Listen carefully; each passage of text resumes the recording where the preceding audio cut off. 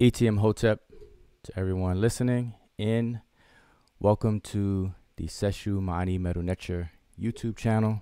This is your brother Wujao Minib Edi Ma'at. And I would like to welcome everyone who's already tuned in, who um, received a notification uh, and has already subscribed. But make sure you subscribe if you haven't and you you know happen to stumble across our channel and make sure you tick the bell so you be notified whenever we go live all right so i want to have a, a, quick discussion um, actually a quick lesson and that's the title of this uh, video quick lesson the mechanics of language and so i want to take a moment and break down the mechanics of, of language but i'm going to give a little bit of time so the people who may have been notified, they can, uh, you know, get their pens and pads ready to hopefully take some notes. All right. So I want to say uh, shout out to everyone in the chat already. We see uh, Philitis Tist, Hotep, Niwasara, Hotep, Sister Mika, Thurman, Vyasa, uh, Brother Daryl Bow, uh, Bowers, Don Williams, um, and uh, a good brother June. Senjun. The Seshew is definitely in the house. All right, so and we have Rashu Sadiq L. He says Islam peace, peace to you, brother. All right, so I'm gonna go through this uh, brief uh, lesson, and I just want you all to make sure you. Um, I want to make sure you understand what it is that I, you know, I'm gonna be explaining. And so once I'm done, I will take some questions brief questions because I don't want this video to be too long. I want it to be a bite-sized chunk that people will watch because when these videos get too long, you know, it's kind of kind of a put off or turn off for people to actually sit down and watch them. If you see a video that's four hours long, that's two movies, you know, and people don't have that much time on their hands to sit through a very long video. So I want to keep this as brief as I can without um, skipping anything so I'm going to be concise. So if you do have any questions, I will try my best to answer them um, in a timely fashion. All right. So share the video um, to anyone who you feel that that will benefit from this conversation. All right. So I'm going to just jump straight into it. All right. So again, for those who just tuned in late, uh, ETM Hotep, which which means welcome and peace, and this is your brother Wujao, and we're about to get dive in. The title of this brief lesson is uh, the mechanics of language. All right, so we just want to jump on in. And while I'm talking, um, I know there's a delay between what I'm saying and, and you all's response, but if someone can let me know that I could be heard loud and clear and that my screen could be seen and everything is all green. All right, so I'm going to keep moving forward, but if someone can do that for me, I appreciate it. All right, so uh, the lesson today is a quick lesson on the mechanics of language. And of course, today is March 23rd, 2020. We are already in the spring. Oh, and also, I would like to say, I hope that everyone is uh, doing their due, due diligence. Uh, they're erring on the side of caution. They're being cautious in the midst of the um, coronavirus outbreak. Um, you know, uh, technically, it's called SARS CoV 2 it's a coronavirus related to the SARS uh, coronavirus as well, and the disease uh, COVID-19, or you know simply coronavirus. And I hope everyone's being safe and, and cautious enough to stay safe. You know, and I say that whether you believe that the virus was created in a laboratory or nature or whatever the case is, it's really irrelevant to your health because I'm sure whichever one you believe, you don't want it. So, you know, hopefully everybody's exercising caution. And I hope that everyone is uh, healthy and safe out there. All right, so we're going to dive in. So the lesson is um, the mechanics of language. All right. So for those who don't know, we have a website. The website is on the screen. It is seshmedewnetcher.com. All right, that's the home of the Seshew Mani Medew Netcher. Website has been up for for quite a long time. And on that site, we have um, articles, blogs, transliterations, translations, and information And you know, our goal is is for it to be like a one stop shop for all things um, ancient Egyptian in terms of language and culture. All right. Well, specifically the language. All right. We want to make it like a Walmart for Egyptian language. All right. So we're going to be become more active or updating the website. But that's the website there. Uh, where we hold our lessons, our classes, our study sessions, and things like that is Seba University, sebauniversity.com. That's the website that hosts um, the study courses. So for those who are interested in the beginner's course, which is I'm, I'm starting this Sunday, this coming Sunday, I'll be starting the first session with the new group. If you're interested um, in that, please, uh, you know, go to sebauniversity.com and register. Here's the actual uh, flyer for the new study group. Put that on the screen for for a second. Um, you could take a screenshot of this um, for your own records. And if you know anybody who's also interested, make sure you pass the word. All right. So let's get back here. All right. So we're just going to dive in. So let's get started. So, communication. what is communication? Communication is the successful sharing or making concepts common. That's what communication is. All right. Now, the goal of language is to transmit meaning from one person to another or many people. Concepts or meaning must be clothed in a form which is sound or, writ- or written or writing in order to be transmitted. And that should be obvious to us because we're not telepathic creatures. We, we weren't designed by nature to be telepathic. We don't just uh, directly transmit our thoughts to another person. All right. So this is why concepts and meaning must be clothed or given form. All right. And that form is either in a sound pattern or something written. All right. And obviously we do we also have uh, sign language and things like that. So a language itself is a system of signs. All right, keep that in mind. So, what do we mean by a language is a system of signs? Well, first we have to make sure we understand what a sign is because, you know, a sign to many people could be many different things. So, what is a sign? A sign is composed of three elements. And this is what you see on the screen. These three circles forming a triangle is what constitutes a sign. So here at the bottom left, we have form. So a form is the signifier, all right? And that form could be either a sound pattern or a written pattern. Then we have on the other side, we have meaning. The meaning is the signified. It's what's signified. And it's the concept or meaning. And a concept is something that is grasped within the mind. And so the word itself, concept, means to grasp in the mind. And then between these two, we have the link. The the the thing that tethers those two those two things together. So we have the link. So we have these three things, and all three constitutes a sign. That's why you see the word sign in the middle. All right. This is what a sign is. All three. Not just two, not just one, but all three constitutes a sign. So, going back to communication, when we when we're communicating with one another, what we're actually doing, let's say we have two people, person A and person B.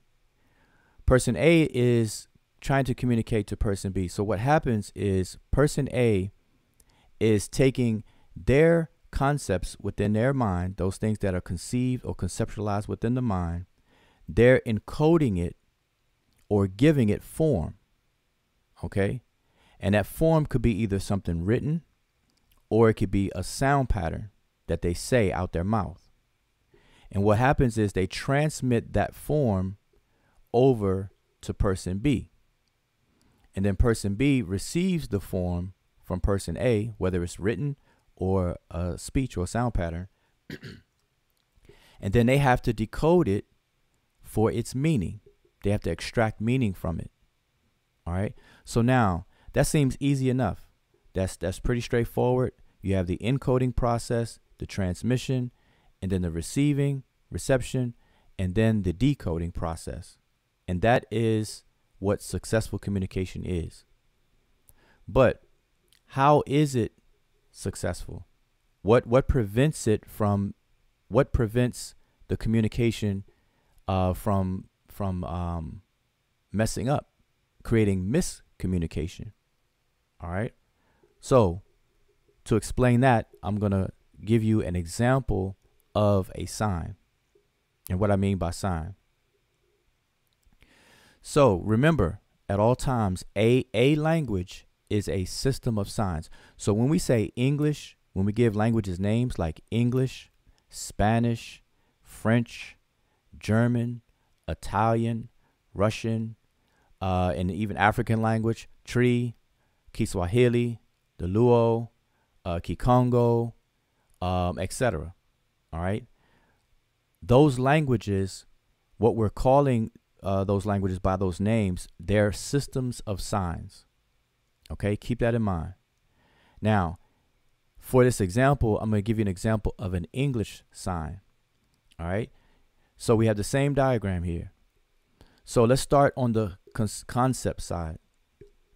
So here, this is what a person conceives in the mind. Remember, the word concept means to grasp in the mind. All right. So this particular person or this particular sign uh, consists of this concept here that I'm pointing here on the screen. All right. This concept that's conceived in the mind is given form, ha also has a form. All right. This form for English, for an English sign, is when written, it's E L E P H A N T. When spoken, it is elephant. Okay? The spoken form is elephant and the written form is E L E P H A N T. Now, this form and this concept are glued together. They're tethered together, which is this link up here at the top. It's linked together. And all three of those constitute a sign. That's very important to understand. All three constitute a sign. Okay, not just the form, not just the concept. They have to be linked together. So all three of those constitute a sign. So this is an example of an English sign. All right. To illustrate further, we're going to go into another system of signs. Remember, a language is a system of signs. So that's English. Let's go to another system of signs.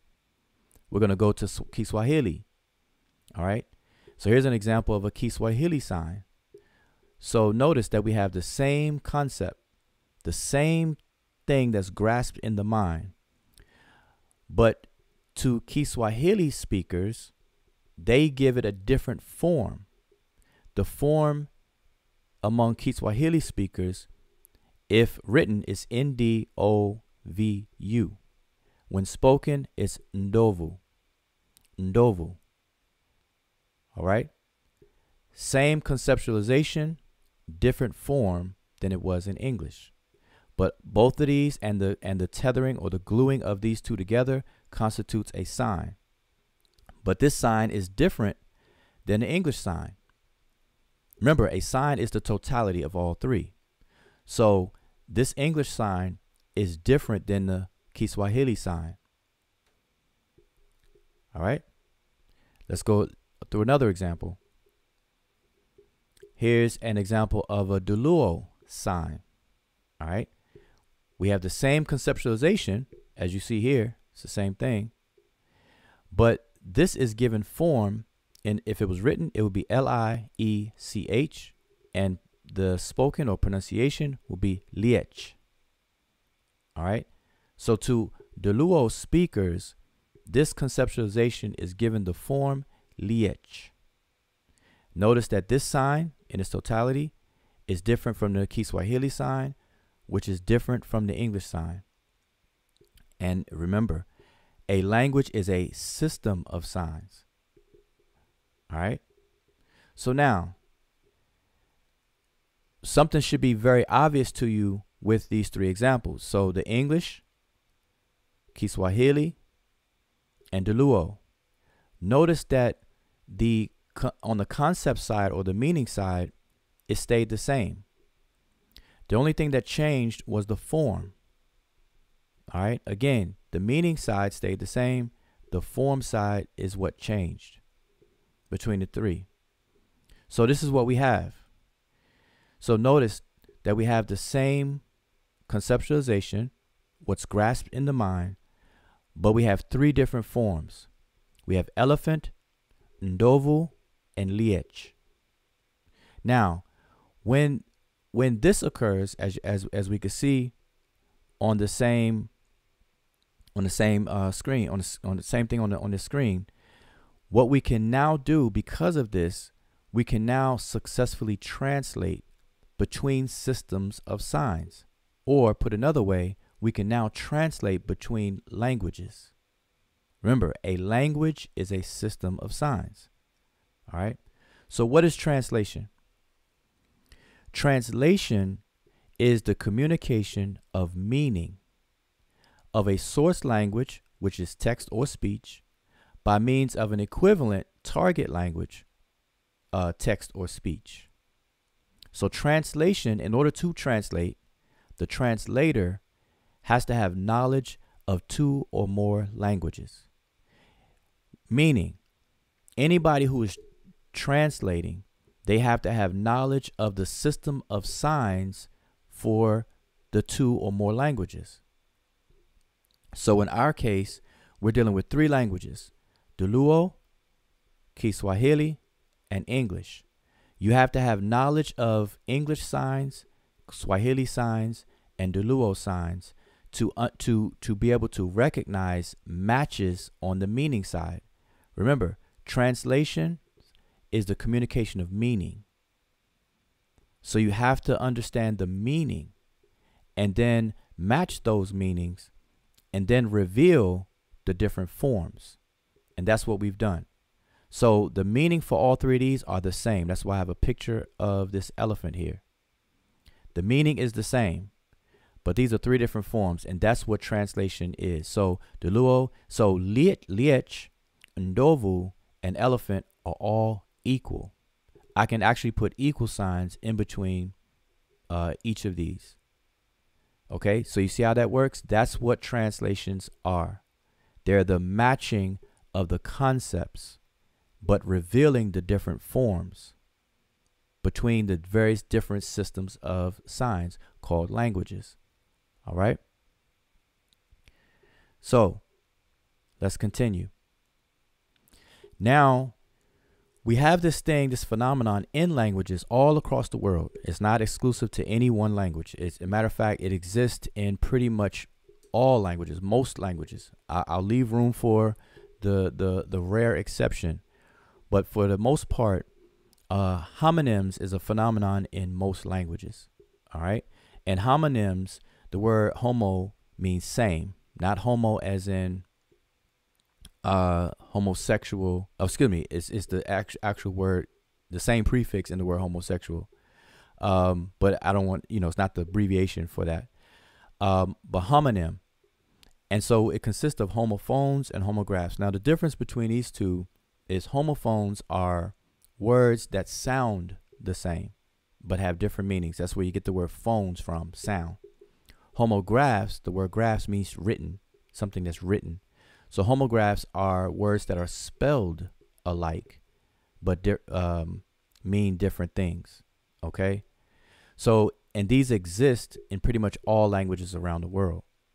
So here's an example within the English uh, language or the English system of signs. We have homophones. So here's an example. So we have this concept of the past tense of leave, like to exit something. All right. The past tense of leave is given the form left, spelled L E F T, and we pronounce it left. We also, within the English language, within the English system of signs, we have another concept, which is the opposite of right, like the, your right hand or the right side of your body. Okay? The opposite of that is given a form left, spelled L E F T or pronounced left. All right? These are two totally different signs. Okay? These are two different signs, but they are spelled alike, which means they look alike and they sound alike. So this is an example of a homonym. All right, so this will cover both. They're, they're homophones and homographs. All right, both of these. All right. Now this exists in, like I said, pretty much all languages around the world. All right, so we have to be mindful. Now, because homonymy exists as a as a feature of languages around the world, then now we should un- understand why it's very important to understand signs or what is tethered to the forms when we hear them or when we read them. And many times, what helps us out in everyday, you know, speech and everyday um, reading is what's called context. So we have context clues that we'll let you know if I if I put this word left inside of a sentence and say, you know, um, I left my house at 10 p.m. Based on the context around the word left, you can tell which which one of these two that I'm referring to. Okay, which sign I'm actually using. I left my house at 10 p.m. Saturday. You'll know that I'm that I'm I'm using the first sign and not the second one. All right? So just to make that clear. Hopefully that's clear.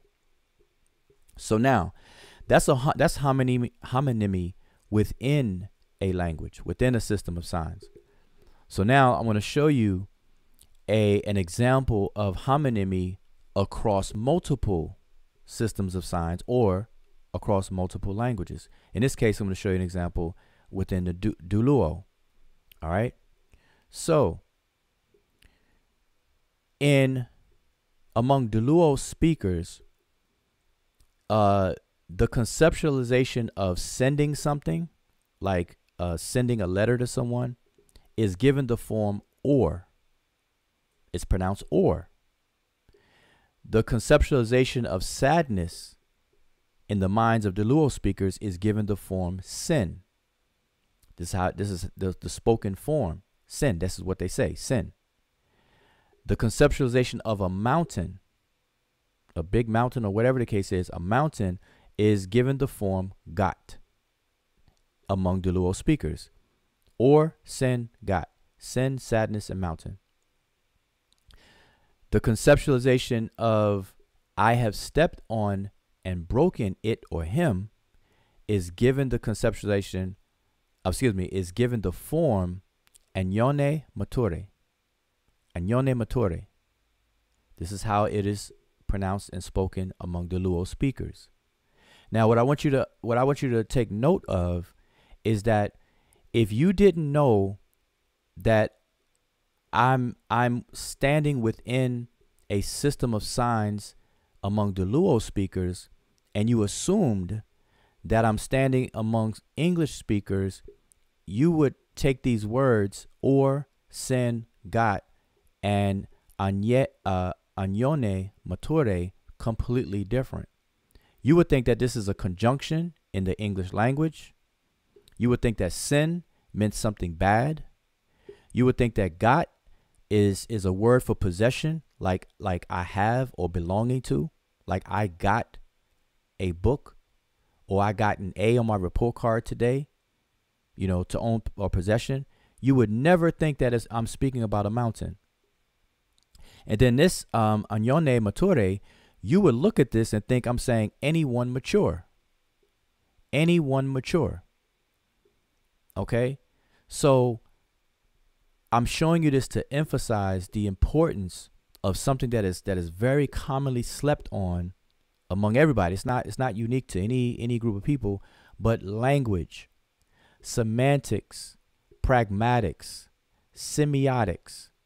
These are these are these are things that I encourage everyone to at least take up, at least get a book, a basic book on those three things, and at your own time, do some studying of it.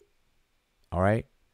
It's very important in eliminating miscommunication.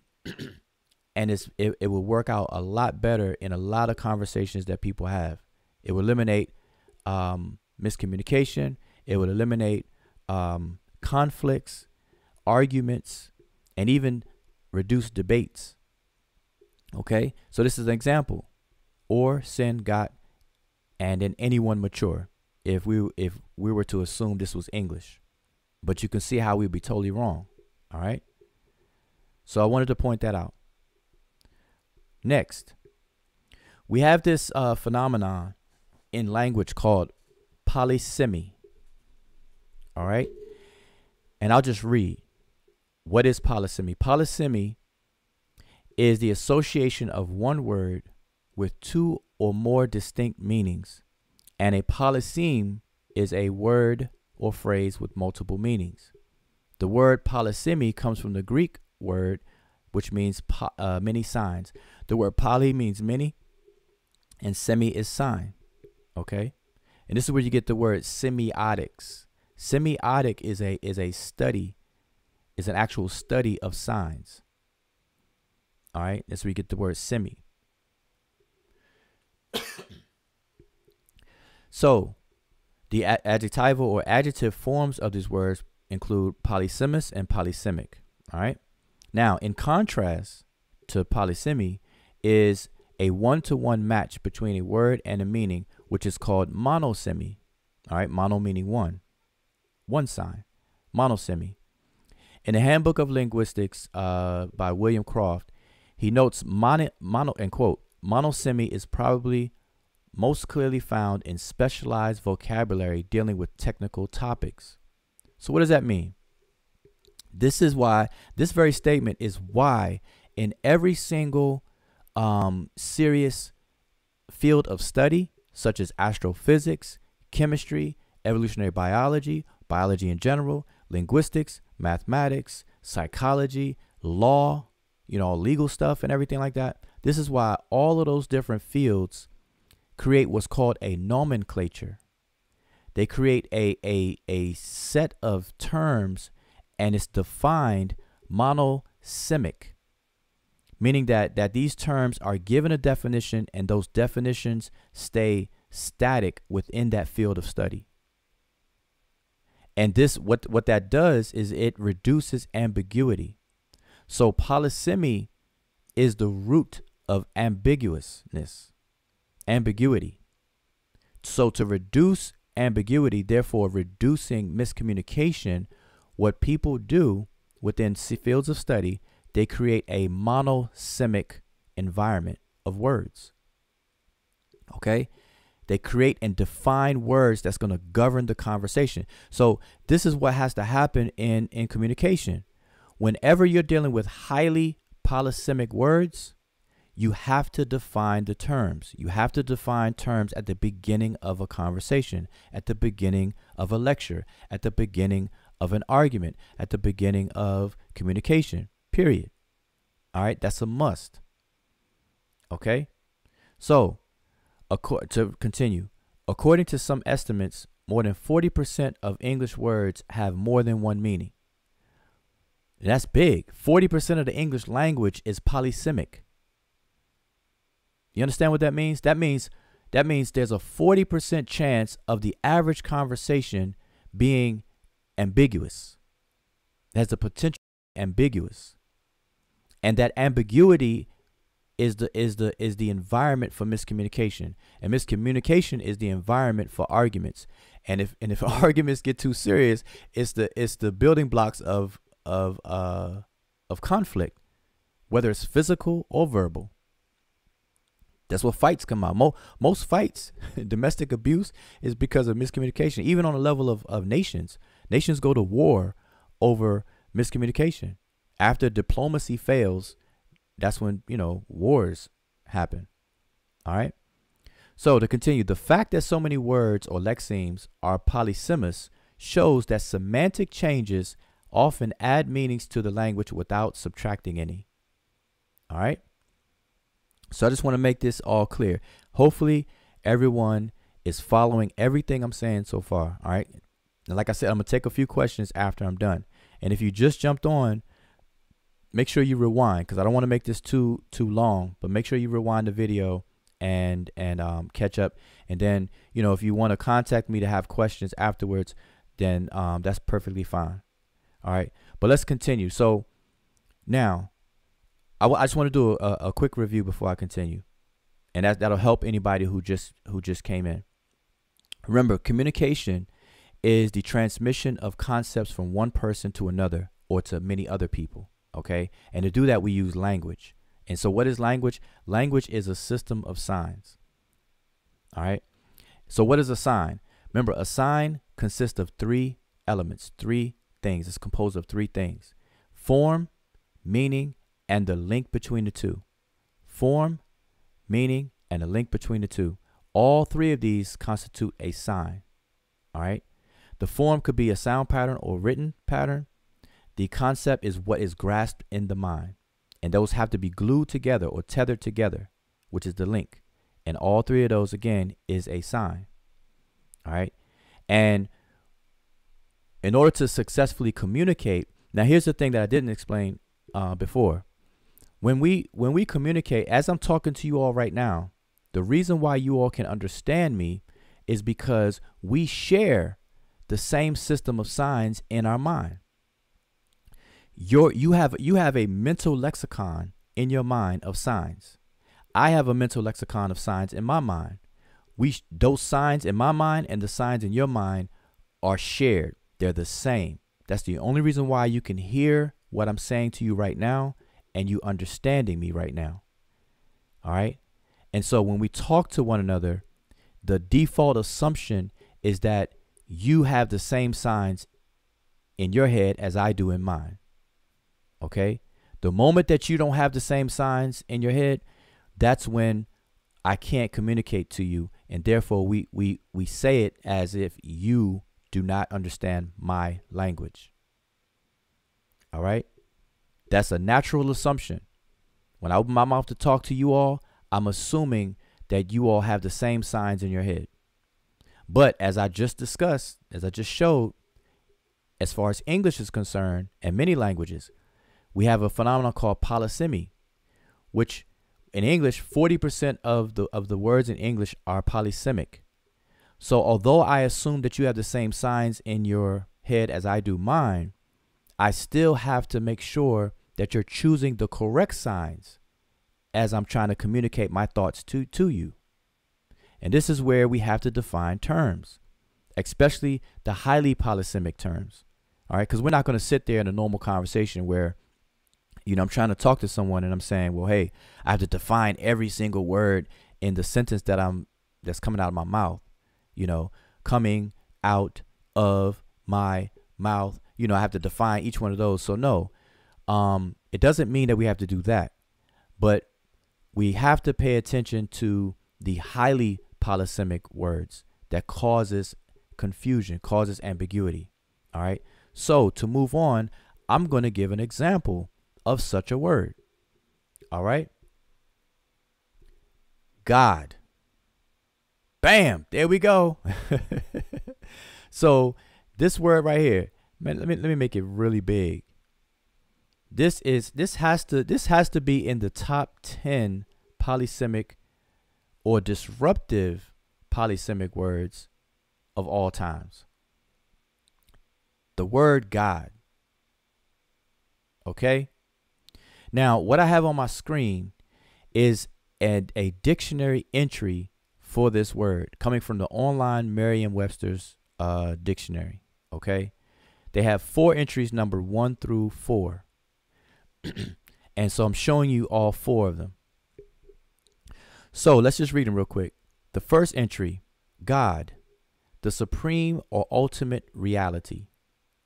God, number two, God, a being or object that is worshiped as having more than natural attributes and powers, supernatural. Three, God, a person or thing of supreme value. Fourth, God, a powerful ruler. All right.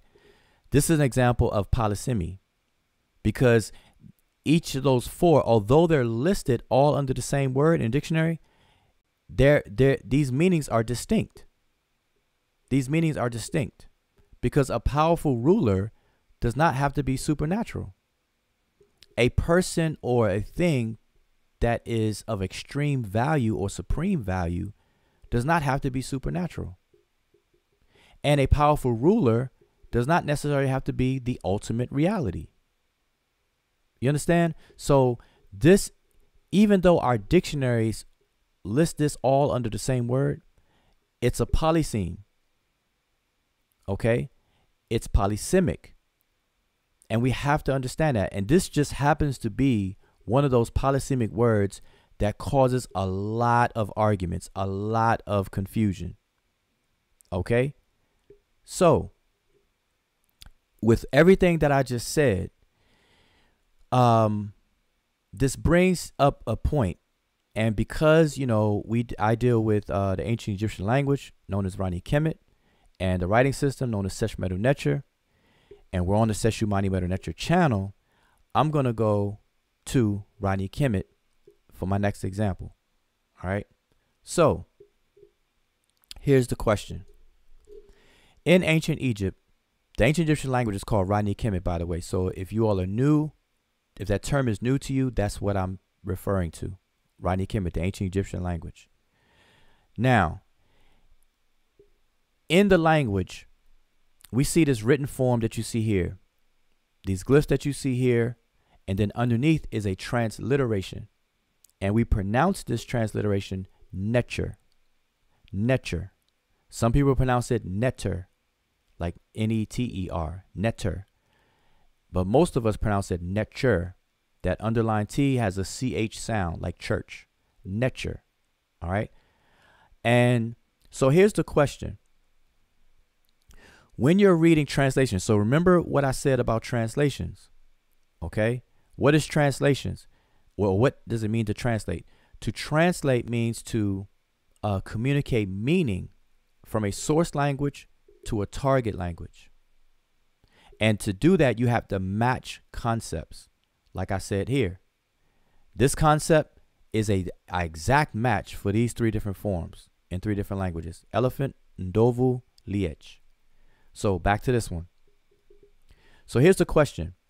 When early Egyptologists and, and uh, translators, when they were reading the Egyptian text, and they came across this form on the form side, what did they tether it to?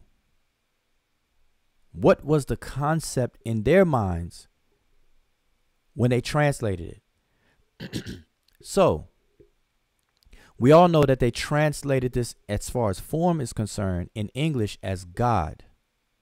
So when you look up in any English uh, English Egyptian dictionary, you'll find the word Neter translated as God. All right, so walk with me, y'all. Neter is translated as God.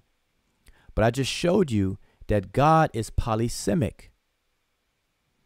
So just by, by today's standards, these they had four options. If they're going to use this form, which they did, God, G-O-D, which of these four distinct conceptualizations did they go with in their translation? When they translated Neter as God, did they mean a powerful ruler? Did they mean a personal thing of supreme value? Did they mean something that's supernatural? Or did they mean the supreme or ultimate reality? That's the question. And are they correct? Okay? Now, to the ancient Egyptians because this is this is what the translators should have been the goal, their goal. What they're trying to do is they're trying to understand what the Egyptians conceived when they wrote this word. When they when they carved this word in stone or papyri, papyri, what were the Egyptians conceiving in their mind? Were they conceiving something supernatural? Were they conceiving a ruler? Were they conceiving the ultimate reality? Or were they conceiving something of extreme importance? You understand? So that's very, very important. And we can't make a blanket assumption. So when you have people that come along and they're reading English translations of Egyptian text and they're seeing the word God, it would be an error for someone to superimpose their already uh, preconceived or biased conceptualization of God onto the ancient Egyptians. So, for example, if I am a Christian, then my conceptualization of God is going to be through the lens of Christianity. And most likely my concept of God is going to is going to be informed from the Bible. Now, that is my concept of God as a Christian. So when I read Egyptian texts and I see the word God, am I correct in superimposing my concept of God onto the ancient Egyptians? No, I would be I would be wrong. That would be a wrong assumption and a wrong thing to do.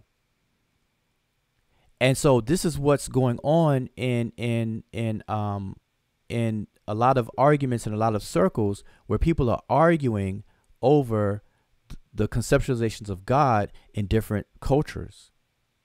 They're superimposing their idea of God onto other people and not allowing the people themselves to have their own agency and allow them to define or reveal the conceptualization that they have in mind. And this is what's happening. All right. Same thing with the word theos. This is a Greek sign. Theos. What were the Greeks conceptualizing when they gave it a form pronounced theos or theos? What? What were they conceiving? Were they conceiving Jesus Christ? Were they conceive were they conceiving Yahweh? What's what's described as Yahweh, Elohim, and all this and that? So these are things, these are these are things that have to be uh, hashed out um, and teased out in order to have any productive conversation. In other words, in order to have a successful communication, let me go back. In order to have a successful communication between two people, you have to understand what's being conceived in the mind of both people. It has to match. And so it's very, very important in all of these discussions, especially when it comes to polysemic um, words, because those words produce ambiguity. Ambiguity is the enemy of successful communication. I'm going to repeat that. Ambiguity is the enemy, the arch enemy, arch enemy of successful communication. Okay? So remember that. And so that I'm gonna end there. Um, I'm gonna put this back on the screen because I want to reiterate that question to everyone. But this question should should should also is fitting for all cultures around the world. Okay, I'm only showing Rani Kemet or ancient Egyptian for this example, but this same question can be asked for any culture around the world where where certain concepts among the people of that culture are being translated in English as God. Okay? So, remember, because all gods are not made the same. The very word God in English is not the same. It's polysemic. Okay? And so this all of this creates an, an ambig, uh, ambiguous atmosphere. And then people jump in the ocean of ambiguity and then try to argue and they don't know how to swim. And so people end up drowning in ambiguity. And so what I'm doing is I'm functioning as a lifeguard and I'm trying to throw a, a, life raft to people by doing this presentation, this quick presentation to let people know, hey, relax in that water. Slow down. Breathe. Kick your legs a little bit. Throw your arms over. You can relax. Hold your breath. You fill your lungs with air, your body will have a lot more buoyancy. Come swim over here. Grab the pole. Let me lure you over here to the side and bring you out of this water. That's what I'm doing right now. With this brief presentation. Okay? Because we got a lot of people who jumped out of the window holding bricks without a parachute and smack dab right in the ocean of ambiguity. And a lot of people are talking and don't know that they got water in their mouth and they're choking. All right? So that's the purpose of me doing this today. And I'm going to do more of these uh, to keep the conversation going, to break down and explain things, um, you know, to my best ability, um, you know, to make, to clarify and edify. All right. So I'm to end here. And like I said, I'll briefly take any questions. So I, I'm, I'm going to pay attention to the chat. So if you have any questions right now, um, go ahead and type them in and I'll do my best to answer them. And I'll just take a few because, like I said, I don't want this video to be too long. All right. So hopefully you have some takeaways. Hopefully I, I was I was clear. And if I'm not clear, by all means, go ahead and ask your questions. All right. Let me um put this up here on the screen so y'all can see it. All right. So, or let me know that you understood. So listen, if you if if this was plain, if if you know, if this was understandable and you and you think that that um I made the point, you know, I got the point across and it was clear, let me know. Hit one, hit hit one, type one if you um if this is clear to you. Otherwise, you know, go ahead and ask your um questions and I'll see if anybody has any and everything. All right. So let's just see. But so so for those who who are just tuned in though, I want to I want to um say I appreciate you tuning in. Um you know, peace out. Shout out to everybody in the in the chat. I see I see some conversations going on. Uh so peace to the sister Amber, Mika, uh Firelightus I already said, Marquise Kid, LB. Uh who else that I didn't shout out? Asar Man Man TV. Sonnet Imiket, Thurman Meredith, uh Ampianki, Hotep, Zane, Brother Zane, so yeah, if you have any questions, I'm gonna stick around for couple of minutes because, like I said, how long we have? Uh, 50 minutes. All right, 10 minutes. I'm gonna keep this to an hour, so I got 10 minutes. We have 10 minutes. 10 minutes max. I gotta be disciplined. 10 minutes. 10 minutes max. All right. So, uh, Donnie C, Rashu, Don Williams, peace. Uh, Zane, um, let's see. Zane, I think you had Q. You put Q. You have a question?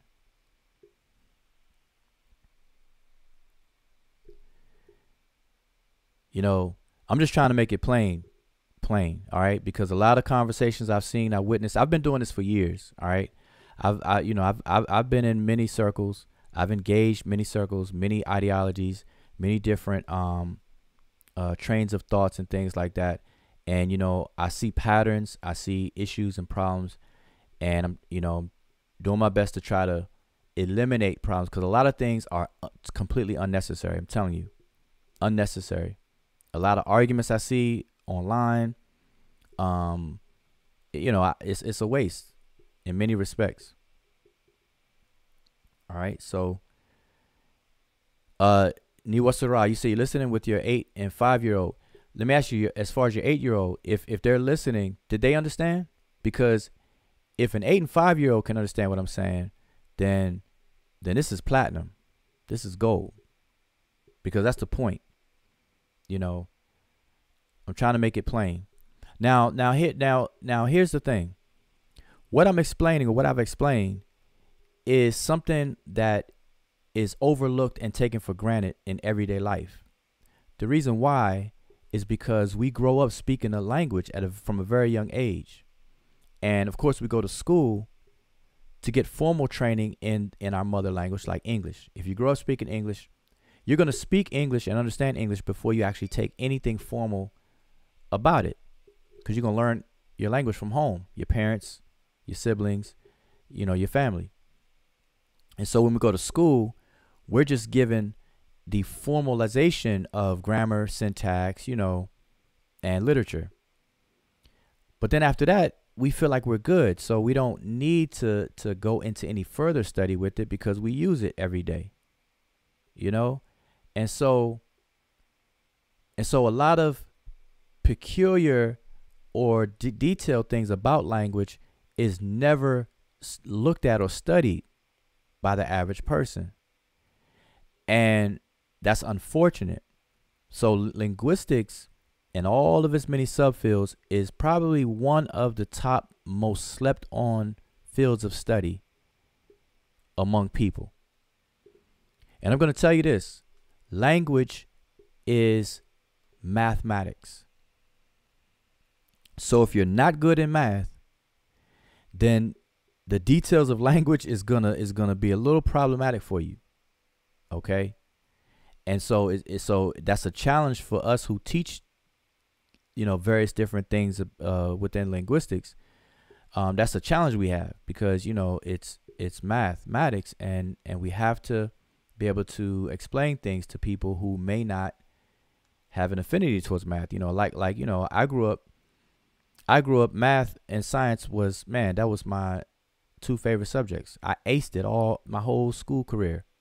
From K through 12, college, everything. Okay? And uh computer programming you, you actually see it applied right there in computer programming and many other areas but but I actually see it manifest right there and um, a lot of my friends around me though you know people that I grew up with they hated math I helped them out, you know, and things like that. And that's just unfortunate. But all right, let me get to these questions. So Zane says, uh, question, homonyms. Where does this play in this? Okay, and he says, like mine, possessive, possessive, and mine, place. Does the word God have the same function? Okay, so first of all, uh, mine as in the possessive and mine as in the place where where um, precious jewels are found, precious stones, you know, like mine a mine. Um,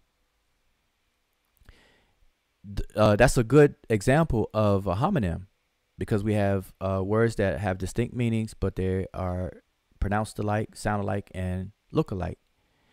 And so you're asking me, does the word God have the same function? Um, yeah, because what happens is polysemic polysemic words are borderline homonyms. It's just that people don't elevate it or call it a, a homonym. So, for example, uh, what's a good example? What happens in in at least in in um, ancient languages before the onset of writing, okay, what people had to do remember before the world was was exposed to writing every human being within a community or a culture had to memorize the the cultural meanings of all the words that came out of their mouth. And they had to do it without the help of a dictionary or writing period so what happens is because languages grow because every every culture has um, is organic and it expands, it, it's living and thriving. When they want to coin new words, which is called a, neo, a neologism, when they want to coin a new word, they used to look for logical associations, logical connections between words, but either the way they sound or what things were called. So a lot of words will sound alike, but be referring to dis- two distinct or two or more distinct different things. Okay? And so that still happens today because that's that's just the nature of language and language evolution, language change. And so God being polysemic is is one of those words, but because of society and culture, it will it will get to the point of of such a, um, ambiguity that people will treat it all it, as if it's the same and that and that creates the problem. And God is one of those words. All right. The moment you say God, people assume that you're talking about some uh, omnipresent, omnipotent, and and omniscient being in the sky, in a place called heaven, that created the world in six days, rested on the seventh, and then He interferes with His creation every now and then, and things like that. That's the dominant conceptualization uh, among the community of Americans, United States citizens in the United States of America. All right. Uh, Amber, I don't think there's any confusion of what you're trying to relate. More so, an unwillingness to adapt. That's true. Um, everything is everything. Did you just say mother language is English? No, what I'm saying is that I use English as an example. Whatever your mother language is, by mother language, I'm talking about your birth language, the language that you are taught first as a child, not mother of all languages. so, so I don't want to get that twisted. In no way, shape, or form am I saying the mother of all languages is English. I'm saying for many of us, our mother language, meaning the language we were taught at birth, is English. All right, let's see. Anything else? All right, I'm just now noticing the super chat. Uh, by the way, the super chat is you know is activated, and I I want to show appreciation for um, brother Don Williams for the donation, and earlier um, Yvonne, uh, the donation greatly appreciated, and and and we say that in Rani Kemet is dua dua u, which means um, Dua means to to gratitude or to give thanks, and dua dua'u is the plural form of that, as if we're saying many thanks. So greatly appreciate that. Do I Dua dua'u for that. Um, and let's see, couple more. Uh, what else? What else? What else? Everything is everything. So based on what Wajao just said, even Christians, Hebrews, and Muslims are atheists. I don't know how you uh, got that impression. So, you know, based on anything I said, Christians, Hebrews, and Muslims are not atheists. So, you have to uh, clarify that a bit. Uh, everything is everything. Uh, let's see. Neolog, yeah, neologism. Neo, you I think this is uh brother Zane. Yeah, that's the correct spelling. Neologism. All right, neologism. To break down the word neologism, you have neo is new and logism from the word logos, word. Logos, logo, logo, logos is word, and neo is new. So neologism is simply a fancy way of saying the coining of new words and it's done differently. It's, it's different ways in which people coin new words. And all of those ways are summed up under the umbrella term neologisms. All right. Uh, let's see. Anything else? Anything else? I guess not. So I'm gonna wait on everything is everything and see if you can clarify what your you know your last statement. And um, we're at 61 minutes, so I want to I want to go ahead and wrap it up. But I'm gonna wait for that last question. So um, everything is everything. Waiting on you. Waiting on you. Waiting on you. Hotep T'Challa, African gods are not conformed to the need for beliefs. It is a matter of understanding that their uh, their worldview and what they mean by God. Well, listen, on that note, while I'm waiting for everything, is if he's gonna type, um, Africans don't use the word God. So let's let's make it very very clear, okay? Africans do not use the form God. And and if if if people understood and, and take away what my point is for, for this quick lesson, you'll understand the importance of why I'm even doing what I'm doing. It's it's the fact that you're you're translating, which is you're, you're bringing a concept from from a source language and bringing it over into a target language. And so for English speakers, if you're going to compare African uh, conceptualizations and then bring those over into English, what people are doing is that they're bringing those concepts over into English in the, under the form God, God. But English already has a preconceived conceptualization of what God or God is. And so the error that a lot of people are making is that they're superimposing that concept over onto these African cultures. And that is the biggest error that people can make. And that's why there's a lot of confusion. And this is why I say both atheists and theists are equally confused. You have a bunch of new age atheists running around now that are propping themselves up as more, being more learned than the theists and and pejoratively calling theists, you know, um, spooky, ridiculous, and, and this and that. But all the while, these new age atheists are just as confused as the theists. All right. And so, well, like I said, I'm the lifeguard in this situation. I'm trying to throw the lifeline. I'm trying to tell people, hey, relax, take a deep breath, let your body be buoyant, float in that water of ambiguity. Come over to the side. Everything's be all right. All right, because these new age atheists and theists are drowning, they're choking. All right, so I'm gonna go ahead and wrap this up. Um, T'Challa, I'm very aware, but because we speak English, that's the word I have to use. Oh no, no, I I get it. That's the uh, T'Challa. I'm not sure if you tuned in from the beginning, but that's the whole point of, well, that's one of the main points of me doing the show. All right, and actually, we don't have to use um, English, so don't don't limit it like that. But I I get what you're saying. I understand what you're saying. And and lastly, let me end with this.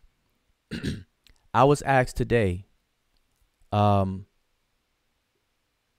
the question if I could name a god that is not a supernatural agent.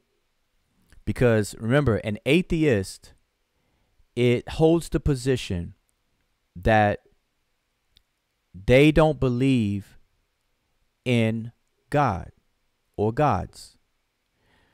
That's not good enough for a definition. Why? Because God or gods have, has to also be defined. And so, summarily, what an atheist is saying when they take that position is that they disbelieve in supernatural agents. And so, not all gods of all people around the world are supernatural agents. And so I was asked for for an example of a god that's not a supernatural agent. I gave the person one. And when I gave them uh one, they had no idea of who or what that god was. And so that alone demonstrated that when you hear atheists say that I disbelieve in all gods, I don't believe none of them, none of that. Now we know that that's a relative statement. That's a relative statement to the conceptualization that they have of God. And that's the difference. That's the big difference. So I want y'all to think about that. All right? I want y'all to understand that. That's a relative statement and and and and to and to put the the um period on it and the icing on the cake is um I'm to give you an example if I say right now, um, all of you, all of you, I want to say peace to all of you. Okay? That statement. I want to say peace and send my greetings to all of you. Now let's take all of you. All of you, we know what all means. All uh, connotes or denotes exclude uh, uh, inclusion, right? It's a word that denotes inclusion. All. If I say all of you, am I talking about every single human being on the planet? Or is it relative within the context that I'm speaking in and this and this situation, all of you meaning all of you, only you who are in the chat?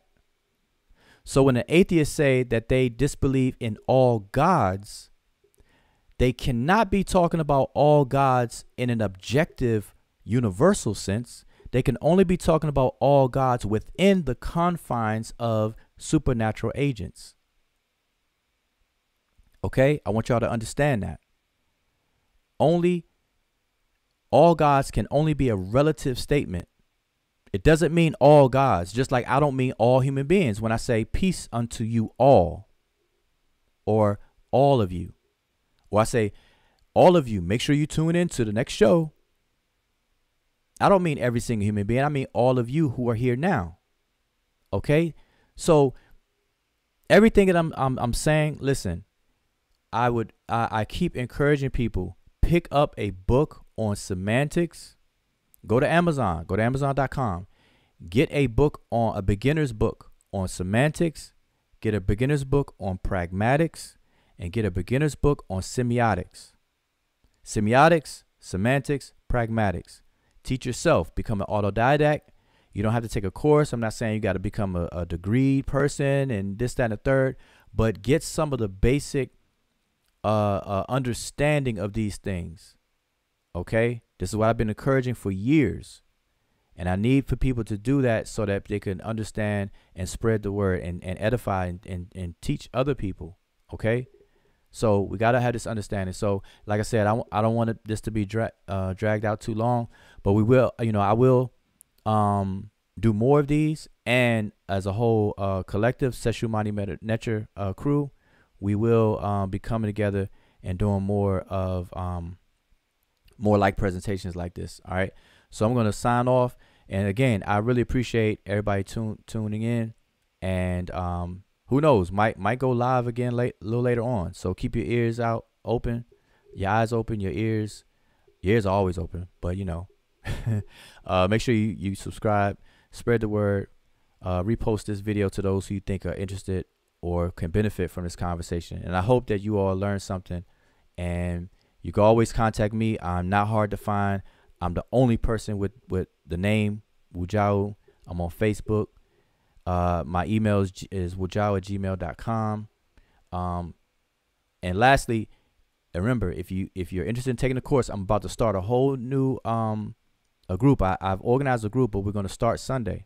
Sunday's gonna be our first session, orientation and meet and greet. All right. And I have a um, a beginners group that are finishing up. Hopefully, those who in the in the chat, like Julanda and Mika, y'all could uh, finish up your final exam. I got I got uh, Mika's final exam today. I'm gonna check it out and uh, see how uh, how that goes, and we will um, we'll continue the conversation. All right. So I'm gonna say peace to everybody, and make sure y'all stay uh, safe out here. Um, you know, among the outbreak. All right, peace.